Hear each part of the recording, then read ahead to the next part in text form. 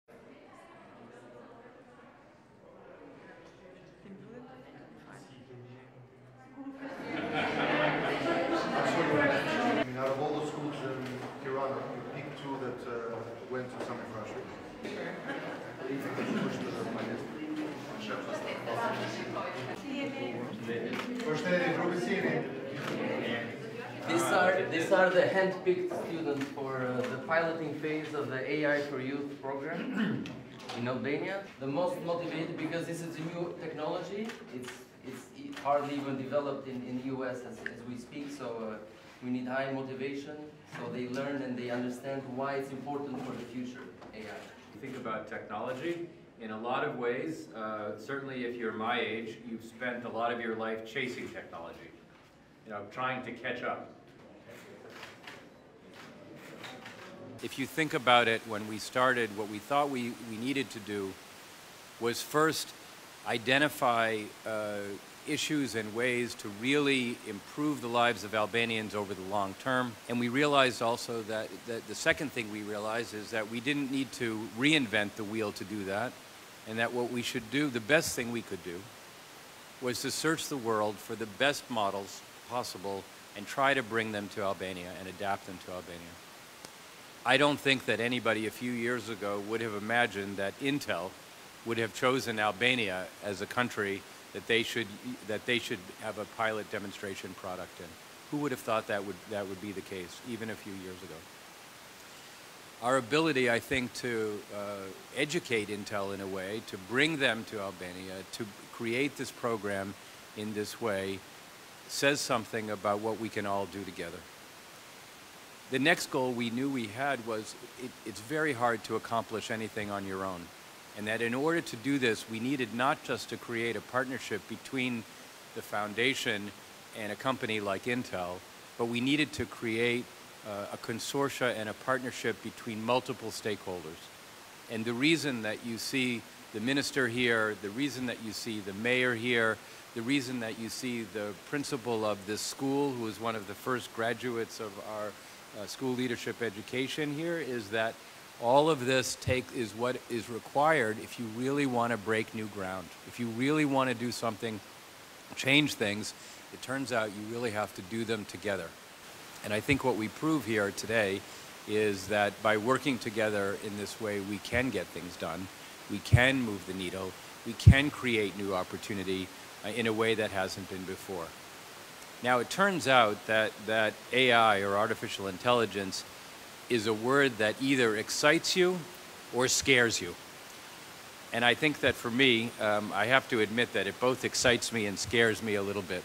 And it may excite and scare you a little bit too. But what it represents, I think uh, most people agree, is an entirely next generation of how technology is going to develop something that is going to transform the way we communicate, transform maybe the way we make decisions, enable us to do things uh, in a way that we couldn't do them before. So congratulations to all of you.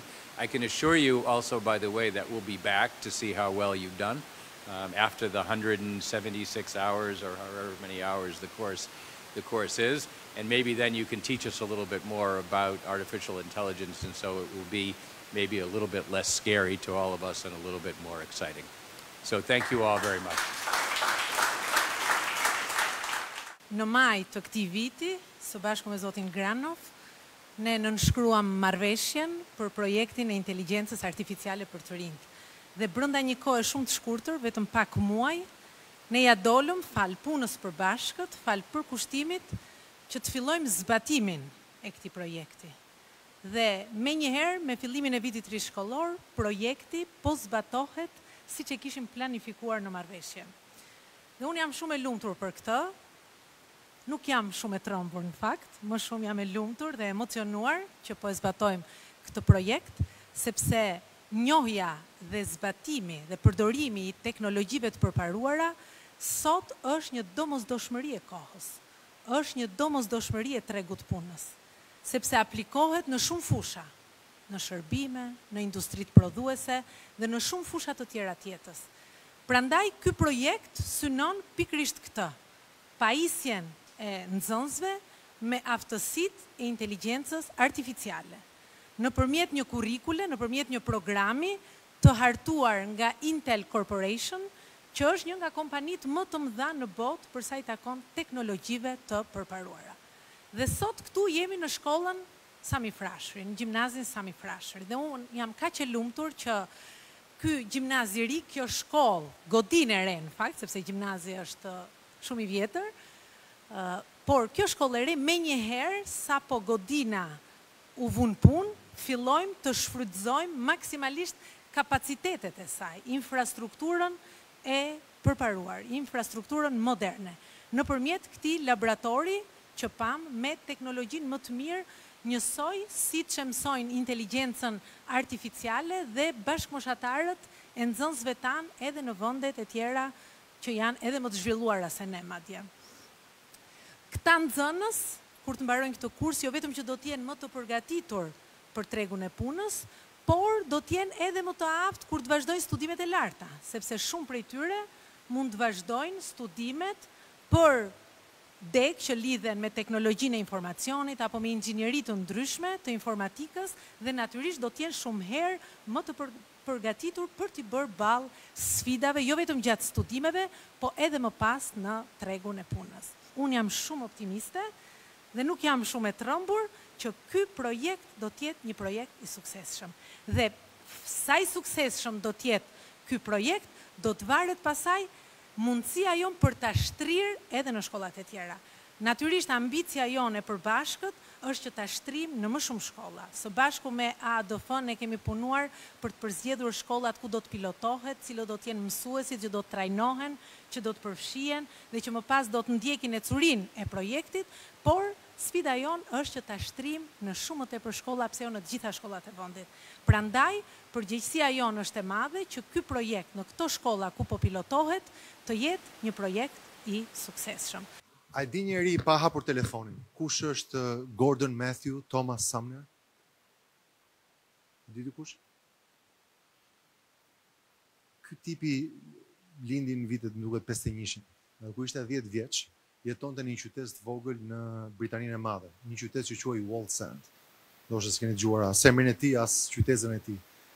Edhe jetonte kjo qyteza dhe i thonë një ditë, duke qenë se ishte një qytezë buzë ujit, pra në një port, i thonë që është bërë një anije e madhe, thotë, dhe gjithë porti ka punuar që të prodhojë këtë anije, pra ishte një shipyard, një vend që prodhoheshin anijet.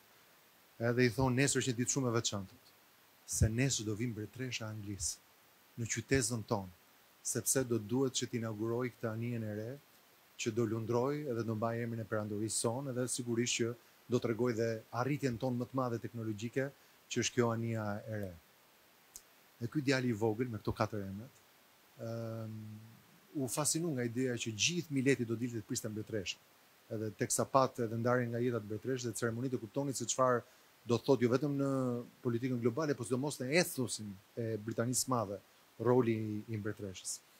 Edhe rreshtohet gjithë qyteza aty, thotë, ne kishim vetëm një high street, pra kishim vetëm një rrugë kryesore, si qyteza e vogël, të gjithë punonin thotë në port për të ndërtuar këtë anijen, edhe ky Gordon Thomas Matthew Sumner futet aty në grupin e madh të njerëzve tek kangjellat që zakonisht vijnë kur kalojnë personalitete, kur ka evente të mëdha në qytet, kur mbushet vendi me me vipa.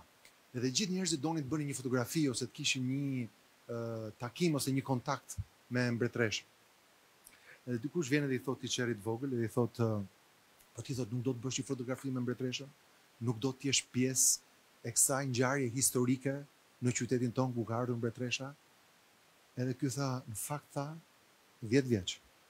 Unë tha dua të jem personi në Rolls Royce tha. Unë nuk dua të bëj fotografi me atë personin aty. Dhe unë thotë do bëj çdo gjë në jetën time Që të jem unë ai personi në Rolls Royce kur gjithë tjerët rreshtohen kur kaloj unë aty. Pastaj ky tipi u rrit, krijoi një grup muzikor që quhet The Police, Sting, Desert Rose dhe të gjithë muzikën që keni dëgjuar nga nga Sting. Por ai që dhjetë vjeç e dinte që ai nuk donte të ishte njeriu që fotografohej me vip-at edhe fotografonte njerëzit që parakalonin në qytet. Ai donte të ishte personi, personi. që fotografoi, personi që ishte qendra e vëmendjes dhe personi që ndryshonte realitetet. Dhe kam përshtypjen që pyetja reale sot është kush nga çunat dhe gocat këtu do të jetë Tim Cook apo Elon Musk, apo kush do të bëjë diçka që do të hyjë në histori. Ndoshta jo të gjithë Jan Brim, jo të gjithë Jan Brim, po shumë e rëndësishme me pas një ide që o do jesh pjesë e enturazhit, siç ishim ne sot një enturazh që erdhën pas jush, ose do jeni personi në qendër të vëmendjes. Edhe unë them që kjo llogari fillon sot dhe ato rrotat e ideve, e planeve, e imagjinatës fillojnë dhe rrotullohen sot. Kështu që për mua është një krenari shumë e veçantë që ne e fillojmë tek Sami Frashëri këtë projekt. Jo vetëm se ka qenë shkolla ime, më vjen mirë që dy anëtarët shqiptarë të bordit, edhe Elisabeta dhe Aida janë nga Sami Frashëri, është koincidencë sigurisht. Michael-i gjithmonë bën shaka, thotë kur bëmë ato kriteret, Duhet të keni mbaruar patjetër Sami Frashërin të jeni ke bordi i ADF-së. Qartazi kjo s'është e vërtetë, po është një kompliment për shkollën. Edhe është një kompliment jo vetëm se si shkolla është rritur dhe se si ka lëvizur. Unë mbaj mend kur kam qenë këtu në këtë shkollë, unë, Jona, një gjeneratë e madhe që sot gjysma e qeverisë sot është nga Sami Frashëri. Edhe gjysma e opozitës meqë ra fjala. Dhe kur mendoj që unë kam bërë gjimnazin këtu në vitin nëntëdhjetë e katër, nëntëdhjetë e tetë, jo këtu. Kjo është shkolla e re, po shkolla e vjetër që kishim. Dhe në vitin nëntëdhjetë e katër nëntëdhjetë e tetë duhet të hyje mik, duhet të ishe me miq shumë të fortë, duhet të bëje çmos që të shkoje te klasa e gjermanishtes. Pra, mësoja anglisht edhe gjermanishtja ishte ishte kursi i dytë. Edhe unë mbaj mend Heidi König ishte mësuesja ime e gjermanishtes nga Salzburgu. Partneri i vet Johani jepte mësim tek tek gjuhët e huaja, edhe Heidi jepte mësim këtu ke ke te Samiu. Edhe ishte një fat shumë i veçantë që të ishe pjesë e atyre njëzet vetave, siç jeni ju sot, që të mësoje gjermanisht. Pse? Sa kishim dalë nga piramidat në nëntëdhjetë e gjashtë, nëntëdhjetë e shtatë, njerëzit po iknin nga Shqipëria dhe gjermanishtja ishte një biletë për të ikur diku. Pra ishte një biletë për t'u integruar në një botë të civilizuar. Dhe ndërkohë për prindërit tanë rusishtja ishte bileta. Në kohën e Bashkimit Sovjetik, në kohën e komunizmit, rusishtja ishte një mënyrë për të ecur përpara në atë sistem. pastaj anglishtja dhe një gjuhë tjetër, siç ishte gjermanishtja apo italishtja. Po sot, siç e tha njëra nga gocat që patëm kënaqësinë të flisnim me me Michael, nëse nuk di Python, nuk ke biletë për të shkuar diku më lart në në jetë. Pra, qartazi gjuhët e së sotmes nuk janë më anglishtja dhe gjermanishtja, qartazi nuk është më rusishtja, me gjithçka po ndodh. Gjithmonë e më shumë është Scratch, për ata që janë në klasat fillore, e gjithmonë më shumë është Python dhe Java. për ata që janë le të themi më të avancuar.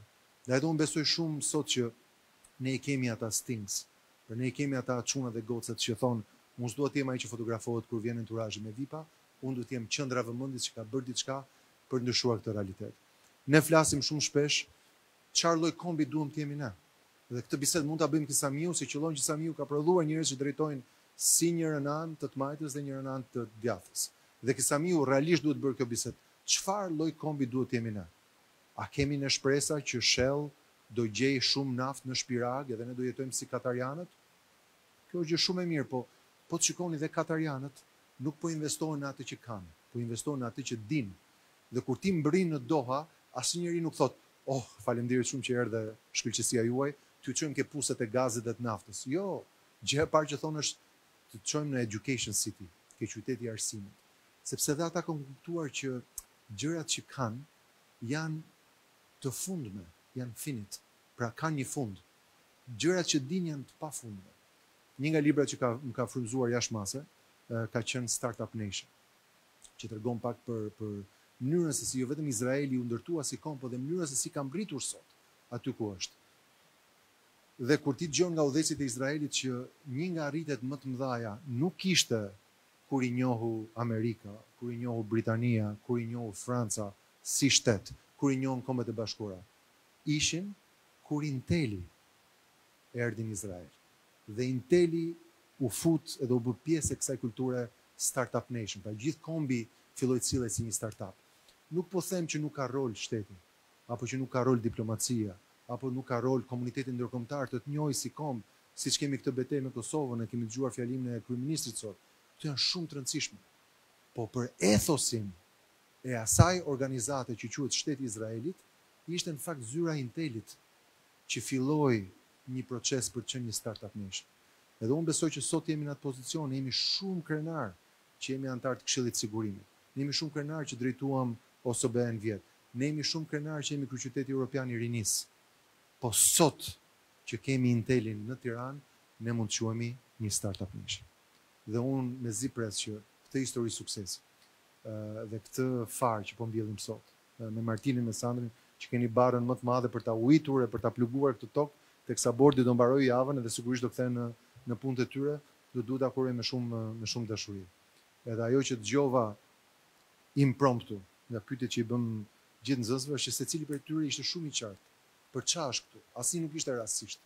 Dhe fakti që secili e dinte ekzaktësisht për ça ishte aty, ma mbush zemrën me gëzim edhe më bën vërtet shpresëplotë që ja kemi mbritë kësaj dite që të konsiderojmë një nga arritjet më të mëdha të qeverisë, të fondacionit, të bashkisë, është fakti që ne kemi ambasadën e Intelit në Tiranë, si ndoshta ambasada më e rëndësishme e atyre që mund të prodhojnë atë që ne e quajmë Startup Nation. Kështu që ju uroj shumë sukses.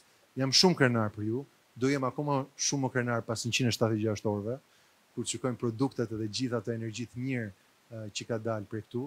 Jam i sigurt si çdo gjë tjetër, po u mboll ke Samiu edhe pati sukses, është shumë kollaj pastaj që ne ta replikojmë edhe gjetkë, edhe dua ta sqaroj këtë, ne kemi në fakt dhjetë shkolla, tetë janë në Tiranë, dy janë jashtë Tirane, Pra, duke qenë se dhe gjysma e popullsisë është në Tiranë, patjetër Tirana zë pjesën kryesore, po dhe unë dhe ministrja do sigurohemi që këtë shembull fantastik ne ta emulojmë edhe në qytete të tjera, sepse unë besoj e gjithë Shqipëria duhet të jetë një Startup Nation.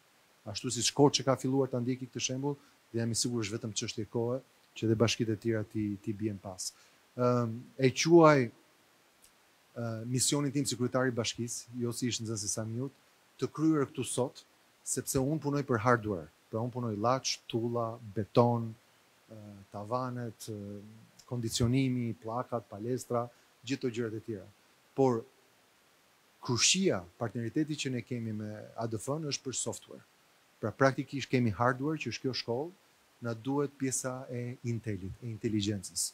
Edhe unë besoj që sot ne kemi jo vetëm një zhguall, një bina, një ndërtesë të mirë, dhe që është ndoshta më e bukura në Tiranë, Për sa i përket shkollave, duket si hotel me pesë yje ku kur hyn.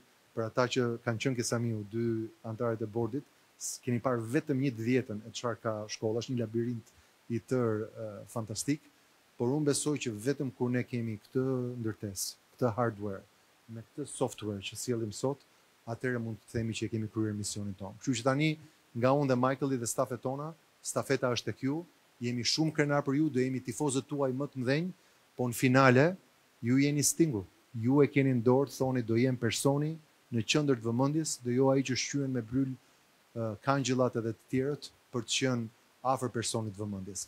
Kështu që e gjitha është në dorën tuaj edhe unë me zi pres që të brohoras suksesin dhe gjithë arritjet tuaja. Shumë faleminderit dhe shumë sukses.